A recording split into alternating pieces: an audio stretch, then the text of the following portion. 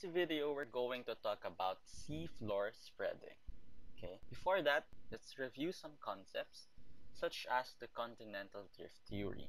This is introduced by Alfred Wegener in 1915 in his book The Origin of Continents and Oceans. So in the early days, geologic phenomena such as earthquakes and volcanic explosions were thought to be caused by supernatural forces. It was thought that the planet was formed the way it is. Oh my god! Wegener proposed that long ago in the geologic past, the continents formed a single landmass called Pangaea. This Pangaea broke into several continents and drifted to their current positions. So Wegener cited some evidence of continental drift theory. First is the fit of the continental short lines. So Wegener viewed the apparent fit of the continents along their coastline as pieces of jigsaw puzzles. He said that this is an indication that the continents were once joined together. So for example, coast of Africa fits well the eastern coast of South America. Next is the matching of rock units across ocean basins. He used the locations of sediments and rocks. He also stated the distribution of fossils.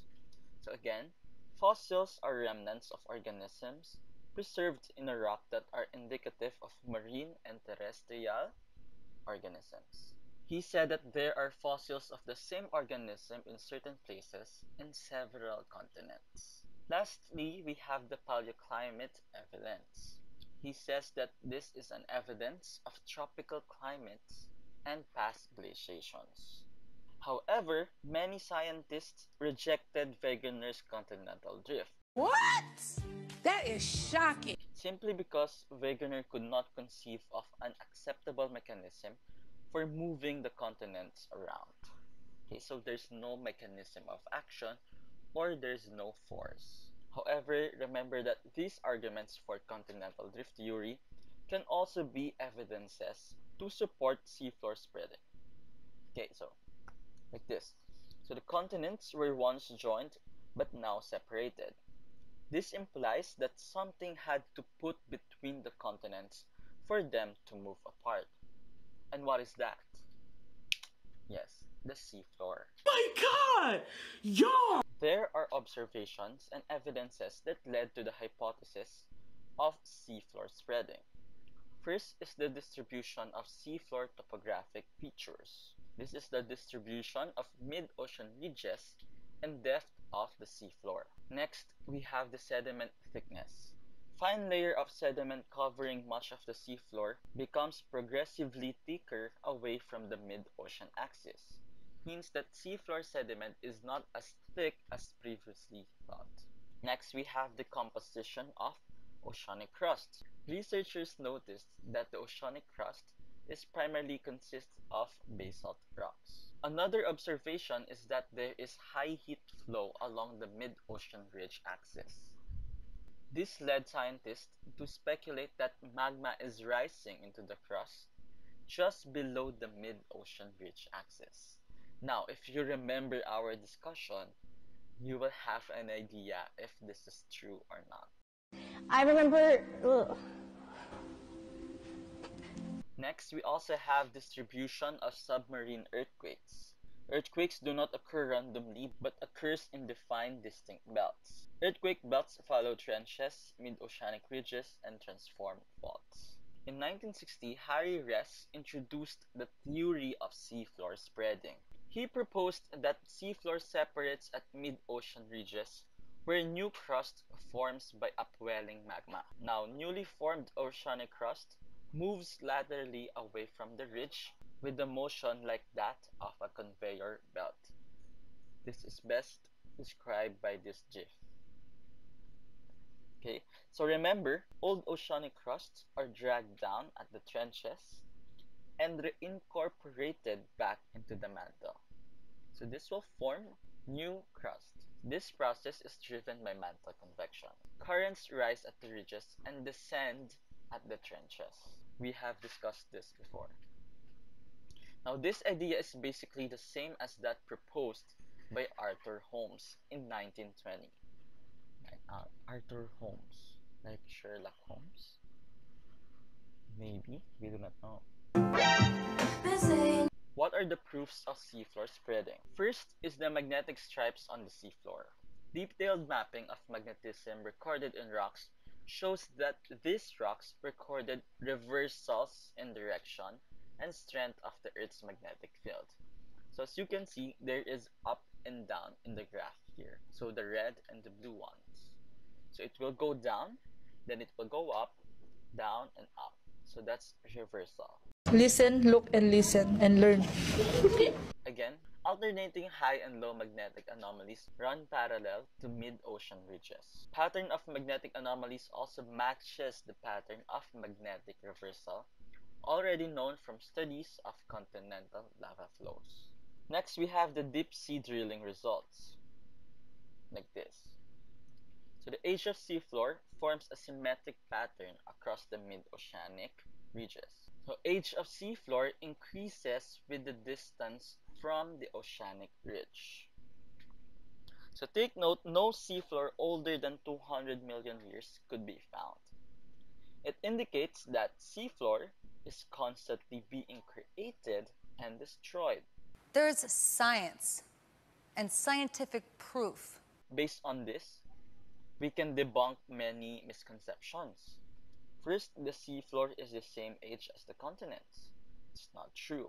The entire seafloor is the same age.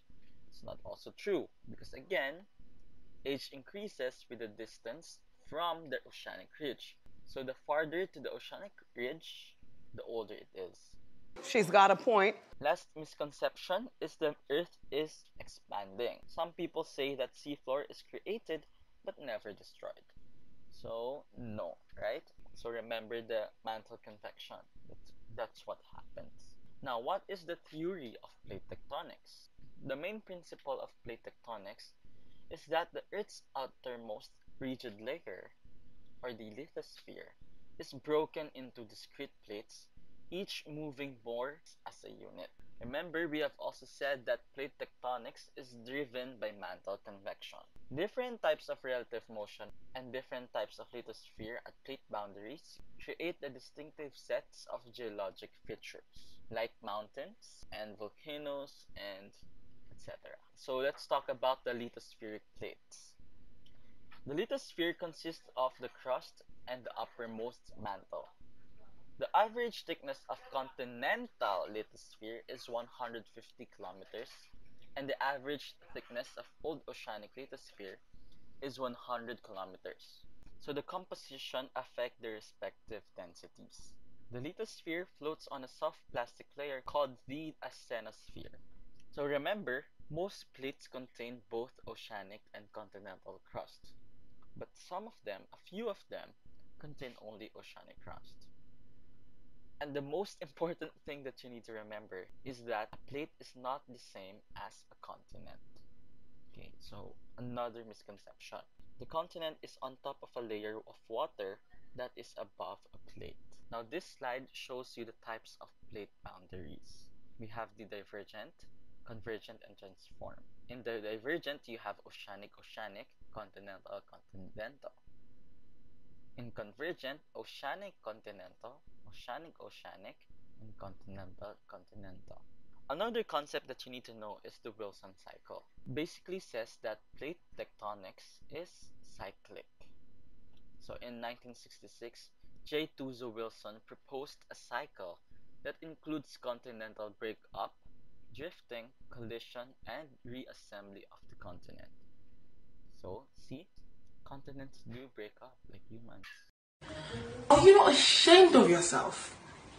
Are you not embarrassed? This is really embarrassing. This best summarizes the Wilson cycle. First, you have drifting. This leads to opening of new ocean basin and formation of oceanic crust. Next, we have drifting. So passive margin cools and sinks. Here, sediment accumulates along the edge. Third is the subduction. In here, convergence begins. This initiates subduction and eventual ocean closure. Lastly, we have the collision. Continent-continent collision occurs here. This forms the next supercontinent, and then the cycle continues. So, what allows plates to move?